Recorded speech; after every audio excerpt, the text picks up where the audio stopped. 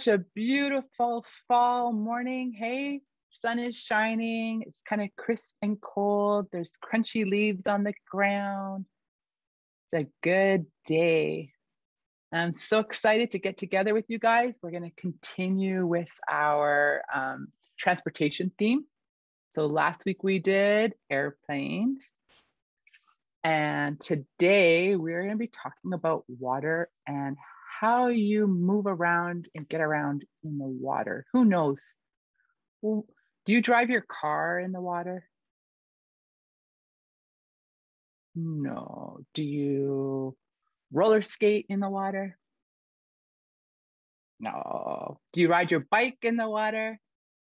What kind of transportation do you need to move around in the water? Who could tell me?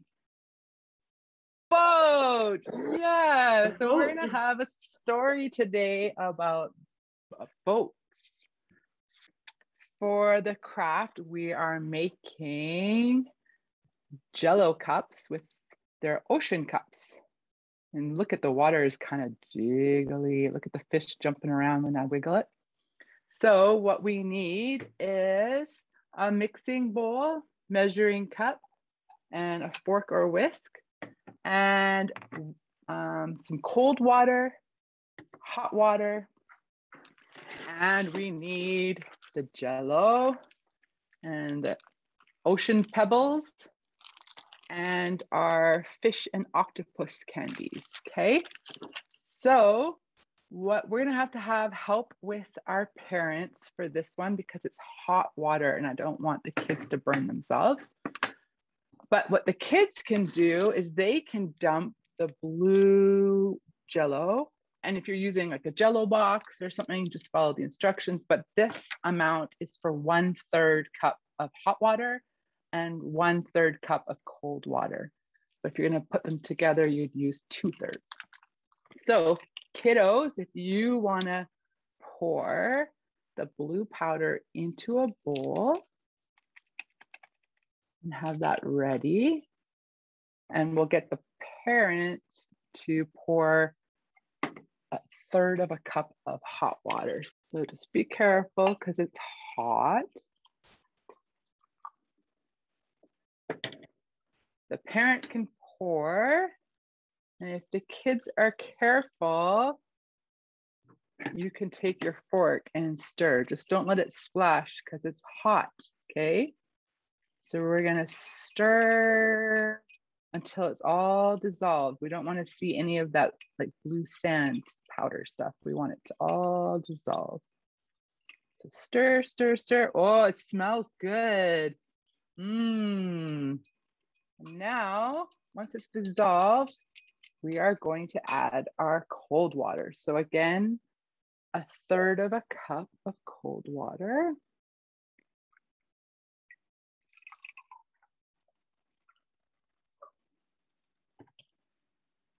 And pour it in and stir. Get it good and mixed. And now, kiddos, you can take your cup and we are going to put the ocean pebbles in the bottom of the cup, okay? So And when you're putting your candy rocks in the bottom of your cup, maybe if no one's looking, you can lick your finger and dip it and get one stuck to your finger and try them. Mmm, yummy pebbles. Do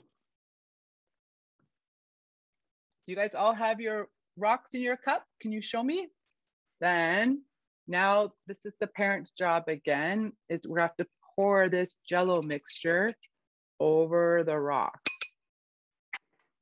So I'm gonna put a cloth down because last time I did this, I spilt it. And it's gonna make the rocks float a little bit, but you can kind of push them down. Ooh. There we go. So we've got our ocean floor see, I don't really like that the rocks went up so high. So I'm just gonna, with my fork, push them down a little bit. And now the hard part is we have to wait for this to cool off. I'll show you my finished one. And I just take a fork just to kind of separate it from the cup a little bit. And then I'm gonna shove my octopus in the cup. This cup's a little bit narrow at the top. So there, I got an octopus. Oh, sorry, the reflection. There. And you can stick some fish in, as many as you want. You can put them on the top like I did, or you can poke them in the water. There, see? So you can decorate your ocean with your uh, fish and octopuses. And then you've got a fun afternoon snack to eat. Are you guys excited to try it out later this afternoon? So now we have to put it in the fridge and practice patience.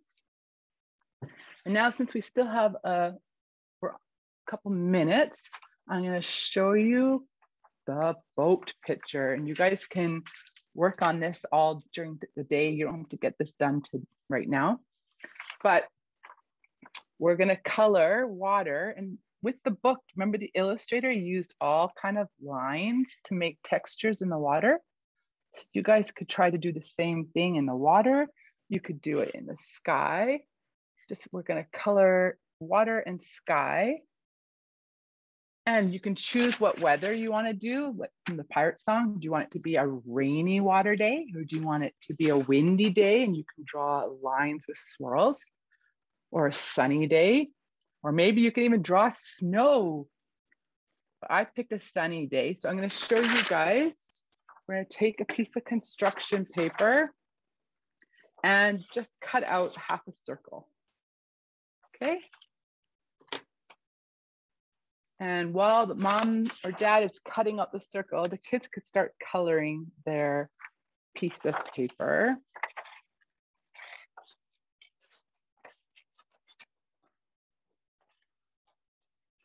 And just gonna quickly move ahead and just show you how to do the sail. I really like that the sail actually looks like it's blowing in the wind. You guys see that? So once you have your, just pretend my picture is drawn, you're going to make a line for the sailboat's post.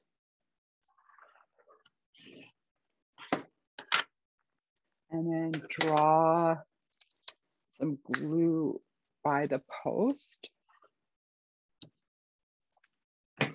And cut a triangle out of the tissue paper. And stick it on like this. So it's like a flap. And then we're gonna put one more dab of glue farther down. And can you guys see? Just gonna bend it over and tap the glue down so that it does the bubble. That's how you do the sail once you're done coloring. But now that you know how to finish it, you guys can start coloring with different colors.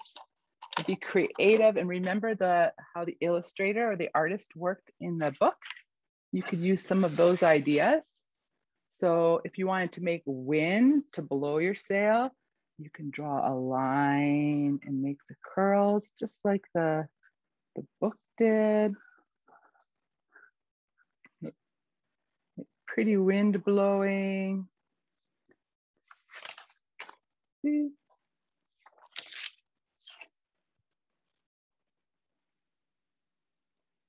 So I drew some water, I glued my boat on, and then I did the sail.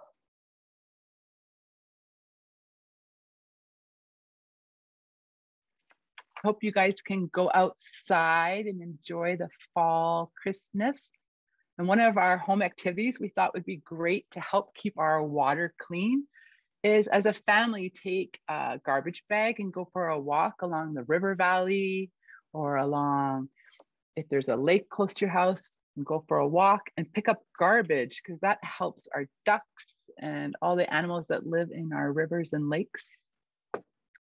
We're going to say goodbye and we will see you next week. Okay.